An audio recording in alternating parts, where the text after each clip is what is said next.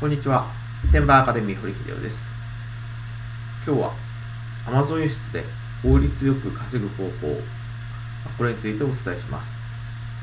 もともと Amazon 輸出、まあ、効率よく儲かる方法なんですけど、効率よく儲かるからこそ、えー、問題になるようなことがあります。これどういうことかというとですね、えー、Amazon で扱えなくなったブランド、まあ、ブランド、このブランドを扱うんであれば、えー、お金を払って登録してくださいと、Amazon の方にですね、いうブランドが Amazon から発表になってます。アディダスとかね、アシックスとか、まあ有名な、えー、ブランド、えー、メーカーで、まあ日本でいうおもちゃなんかだとですね、例えばポケモンとかいうのが、えー、該当します。でこれなんで、まあ、こういうのがね、出てきているかというと、まあ、Amazon があまりにも売りやすいからということですね。まあ、eBay だと販売できます。まあ、なぜかというと、まあ、eBay だとね、えー、ま、ほとんどの方、ま、個人でやってると、数で言ったらですね。で一部ショップもありますけど、まあ、Amazon ほど簡単に売れるわけじゃないんで、ま、それほど、ま、メーカーの方もほっといてもダメージがないと。ところが、Amazon って極端な話ですね。個人の人でも、えー、いい商品を見つけて、で、販売するとですね、えー、それこそ1000万、2000万、あるいは、えー、数人で、えー、何億という売り上げを立てることが可能です。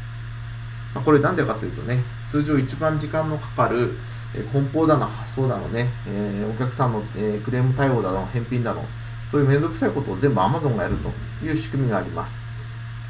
だから、まあ、コピー商品を作ってね、え中国の出品者が、まあ、一気にね、毎月何千万も売っちゃったり、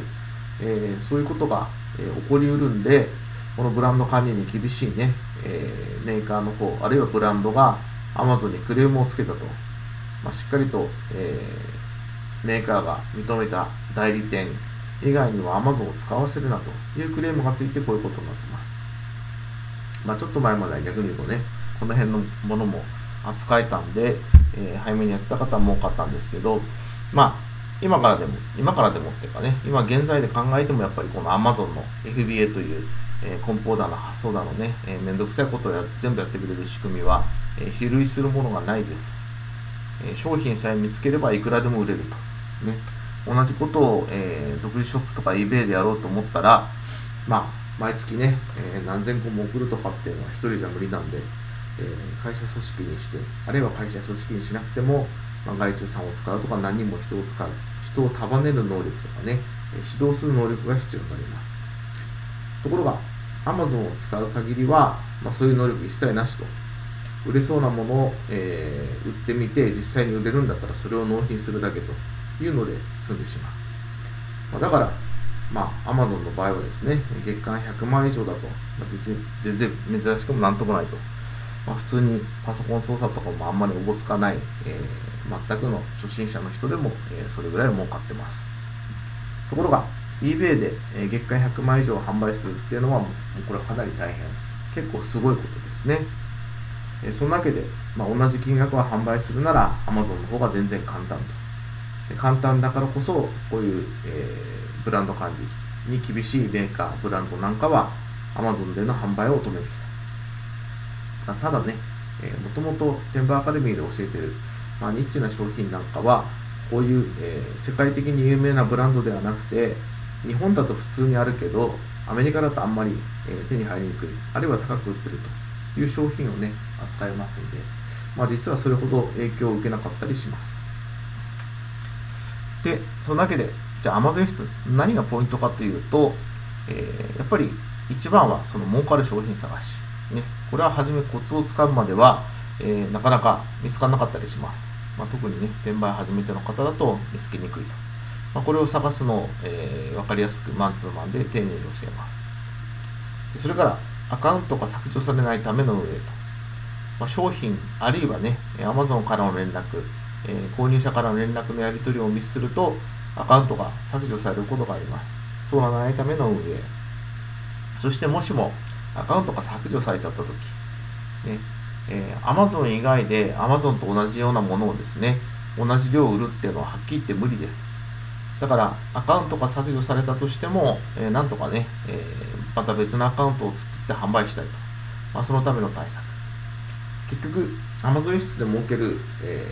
ー、コツというかね、えポイントはこの3つですね儲かる商品探しとアカウントが削除されないための運営それとアカウントが削除された時の対策と、まあ、この3つを押さえてれば、まあ、初心者の方でも、えー、月10万以上稼げると。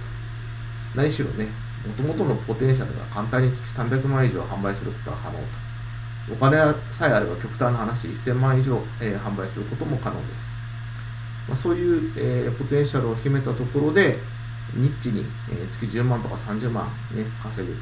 というのは本当に、え、どんなやり方でもできると。まあ、日本に住んでるからこそなんですけどね、えー、その辺にあるものを送って、えー、販売すればですね、え、どのようにでもできるというような状況になっています。で、具体的なサポートはですね、えカートを取りやすいアカウントを準備して、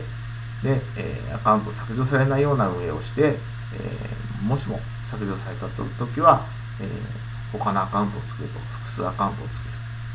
儲かる商品を見つけて、儲かる商品を、え、売り続けるというようなことになります。まあ、それらをね、え、初心者の方でも分かりやすく、マンツーマンでサポートさせていただきます。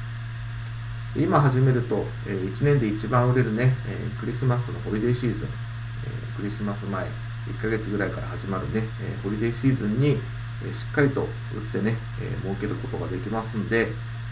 なかなかね、輸入じゃ難しかったとか、それどれじゃ儲かんないとか、アフィリエイト諦めちゃったとか、まあ、とにかく何か、え副業で稼ぎたいという方は、やっぱり今一番稼ぎやすいのは Amazon 輸出なんでですね、えこの機会に Amazon 輸出始めてみてはいかがでしょうか。え9月30日、え金曜日のね、午後11時まで、えサポート会員募集してます。で、このね、今私が話した内容だけだと、まあ、自分の、自分がどういうふうにやっていくか、自分でできる、できそうかどうか、ね、えー、まだはっきりとわかんないという方が多いかと思います。まあ、そんな方のためにですね、えー、まず、まあ、手続きはしてもらうんですけど、その後スカイプ相談をして納得してから残業を払っていただくと。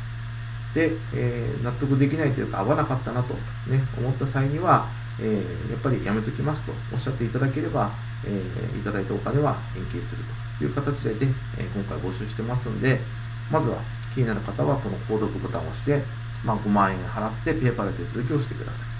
でその後、え無料スカイプ相談をして、え5万円に追加してですね、50万円半年分のサポート会費と入会金を払っていただいてサポートを開始するか、